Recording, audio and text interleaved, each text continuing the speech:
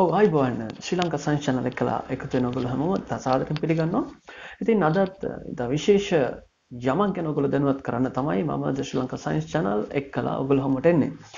මේ දවස්වල සාමාන්‍යයෙන් අපේ අහස ගැන අවධානයෙන් ඉන්න හැමෝම කතා වෙන දෙයක් තමයි මේ අලුත් වල්ගාතරුවක් අපේ අහසේ මේ දවස්වල දකින්න හම්බ වෙනවද කියන එක ගැන. විශේෂයෙන්ම අපෙන් ගොඩක් දෙනෙක් අහනවා මේ වල්ගාතරුව මොකක්ද මේ වල්ගාතරුවේ අපිට බලන්න පුළුවන්ද පියවියෙන් මෙන්න මේ වගේ ප්‍රශ්න ගොඩක් අපේ කට්ටියට දැන් පැන්නගෙන තියෙනවා. ඉතින් අද මේ වීඩියෝ එක හරහා අපි බලාපොරොත්තු වෙන්නේ මේ අපේ අහසේ මේ දිනවල දකින්න හම්බ වෙන ලෙනාඩ් කියන වල්ගාතරුව ගැන චුට්ටක් වැඩිදුර කතා කරන්න.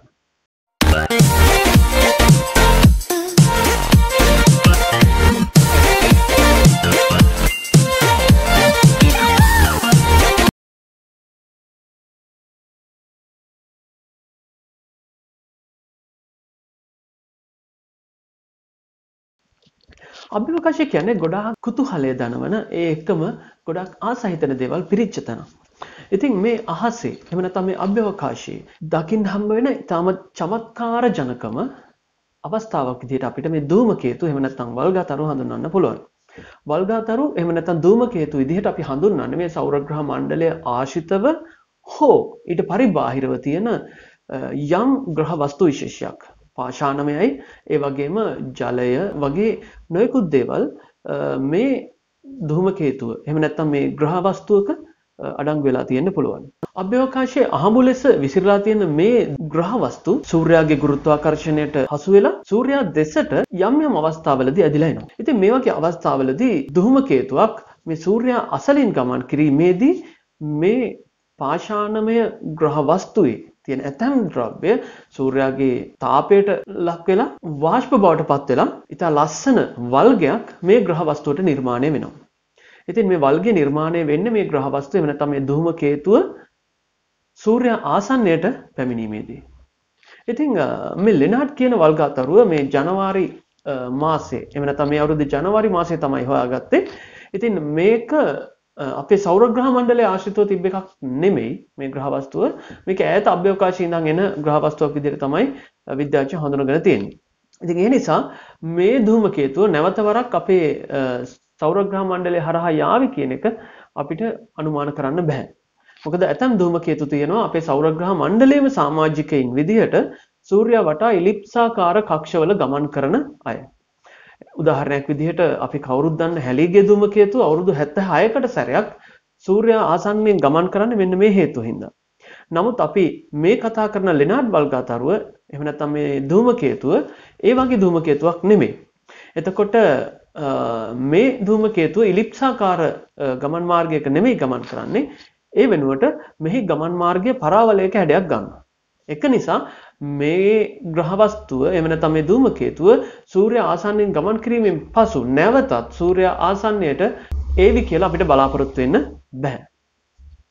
ඉතින් මේ ලෙනාඩ් වල්ගාතරුව සොයා ගැනීමෙන් පස්සේ විද්‍යාඥයෝ මේක ගැන ගොඩක් ලොකු අවධානයක් යොමු කරා.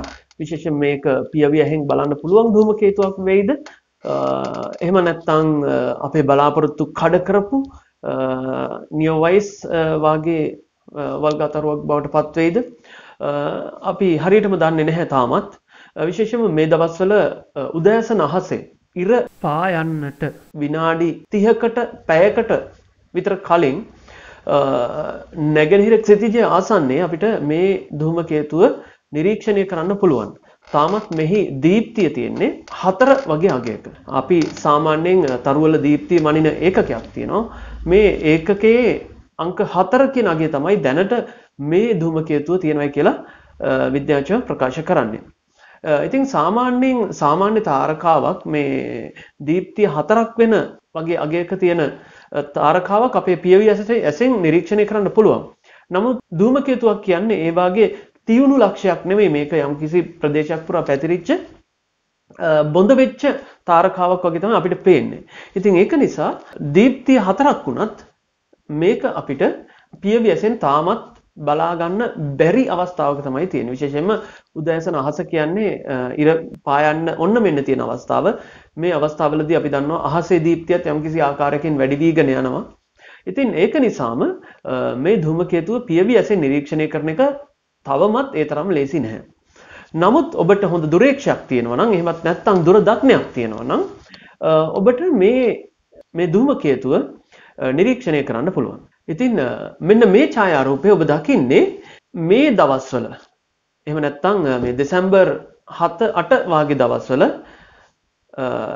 නැගෙනහිර අහසේ ඉර පායන්න විනාඩි 30කට විතර කලින් මේ ධූමකේතුව දකින්න ලැබෙන ස්ථානය. ඉතින් මෙතන විශේෂයෙන්ම ආක්ටරස් කියන තරුව විශේෂයෙන්ම වැදගත් වෙනවා.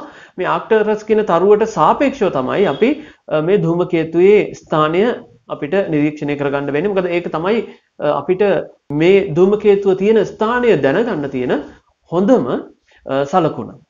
ඉතින් ඔගොල්ලෝ මේ ඡායාරූපේ දකිනවා මේ ආක්ටරස් කියන තරුවට සාපේක්ෂව මේ ධූමකේතුව තියෙන ස්ථානය. ඉතින් මේ සූර්යයා වටා ගමන් කරනකොට මේ ධූමකේතුව පෘථුවියට ආසන්නයෙන්ම ගමන් කරන අවස්ථාව එළඹෙන්නේ දෙසැම්බර් 12 වෙනිදා. ඉතින් පෘථුවිය ආසන්නයෙන් ගමන් කරනවා කියලා කීවත් මේක පෘථුවියට කිලෝමීටර් මිලියන 34ක් විතර ඈතින් තමයි ගමන් කරන්නේ. ඉතින් මේක යම්කිසි ඈතින් තමයි පෘථුවියට තරමක් ඈතින් තමයි ගමන් කරන්නේ. නමුත් 18 වෙනිදා මේ ධූමකේතුව සිකුරු ග්‍රහලෝකයට ඊට වඩා ගොඩක් ආසන්නයෙන් ගමන් කරනවා. ඒ කියන්නේ කිලෝමීටර් මිලියන 4.2ක් වගේ ආසන්නයෙන් මේ ධූමකේතුව සිකුරු ග්‍රහලෝකයේ පසු කරලා ගමන් කරනවා. ඊට පස්සේ ධූමකේතුව සූර්යාට ආසන්නම අවස්ථාව එළඹෙන්නේ ජනවාරි 3 වෙනිදා. ජනවාරි 3 වෙනිදා. නමුත් ජනවාරි 3 වෙනිදාට කලින් අපිට මේ ධූමකේතුව බලා ගන්න පුළුවන් වෙනවා අපේ සැන්දෑ අහසේ. ඒ දෙසැම්බර් මාසේ 14 වෙනිදායින් පස්සේ. දෙසැම්බර් මාසේ 14 වෙනිදායින් පස්සේ අපිට මේ ධූමකේතුව ලෙනාඩ් කියන මේ ධූමකේතුව අපිට බලන්න හම්බ වෙන්නේ සැන්දෑ අහසේ. ඒ කියන්නේ ඉර බැස යාමත් එක්කලා. අපි මේ ධූමකේතුවක් නිරීක්ෂණය කරද්දී අපිට හම්බ වෙන ගොඩක් ලොකු අභියෝගයක් තමයි මේ සූර්යයා ආසන්නයෙන් තියෙන ග්‍රහ වස්තුවක් විදිහට මේක නිරීක්ෂණය කරන්න අපිට හම්බ වෙන්නේ ඉතාමත් සුළු කාල පරාසයක් විතරයි. විශේෂයෙන්ම දැන් අපි දෙසැම්බර් 11 වෙනකන් මේ ධූමකේතුව බලන්නේ උදෑසන අහසේ. උදෑසන අහසේ ඉර පායන්න විනාඩි 30කට ආසන්න කාලයක් ඇතුළත විතරයි අපිට මේ ධූමකේතුව බලන්න හම්බ වෙන්නේ.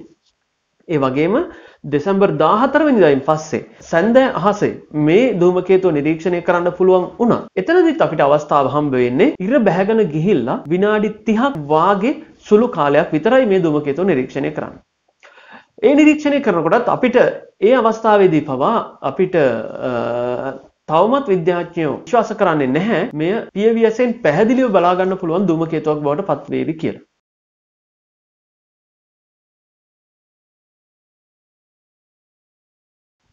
විශේෂයෙන්ම මේ අන්තර්ජාලය හරහා ඔයගොල්ලෝ දකින මෙන්න මේ වගේ ඡායාරූප බොහොමයක් ඇත්තටම දුරේක්ෂ ආධාරයෙන් ලබාගත් ඡායාරූප. දුරේක්ෂ ආධාරයෙන් මේවා සාමාන්‍යයෙන් විනාඩි දෙකක් තුනක් කාලයක් ඇතුළත ලැබෙන ආලෝකයන් එකතු කරලා තමයි මේ ඡායාරූප මේ ලස්සන ඡායාරූප ඔයගොල්ලෝ දකින්නේ. මේ දැන් ඔයගොල්ලෝ තිරේ දකින්නේ මේ වගේ ඡායාරූප කිහිපයක්. ඉතින් මේ වගේ ලස්සන දර්ශනයක් අපිට පියවි ඇසෙන් නම් බලා ගන්න හම්බ වෙන්නේ නැහැ. පියවි ඇසින් විතරක් නෙමෙයි විශේෂයෙන්ම දුරේක්ෂයක් භාවිතා කරලා වුණත් අපිට මේ වගේ දර්ශනයක් අපිට බලා ගන්න හම්බ වෙන්නේ නැහැ. ඉතින් එතනදී අපි මේ අන්තර්ජාලය හරහා එන ඡායාරූප වල රැවටෙන්න එපා. මොකද මේවා ගොඩක් වෙලාවට මේ ඡායාරූප ප්‍රොසෙසින් එහෙම නැත්නම් මේ ඡායාරූප ගොඩක් දුරට යම්කිසි ආකාරයක සැකසීමකට ලක් කරලා තමයි මේ වගේ ලස්සන ඡායාරූප බවට පත් කරලා එන්නේ. ඉතින් මං හිතන්නේ ඔයගොල්ලන්ගේ ප්‍රශ්න ගොඩකට උත්තර මෙතනදී හම්බ වුණා. ඉතින් මේ ධූමකේතුව ගැන තවදුරටත් තොරතුරු ඒ කියන්නේ විශේෂයෙන්ම මේ පිළිබඳ වැඩිදුර තොරතුරු අපි ඔබට ගෙනෙන්න අපි සූදානම් ඉන්නවා. ශ්‍රී ලංකන් සයන්ටිස්ට් Facebook පිටුවත් මුහුණු පොතෙන් විදුපුවත් කියන අපේ සිංහල Facebook පිටුවත් ඔස්සේ.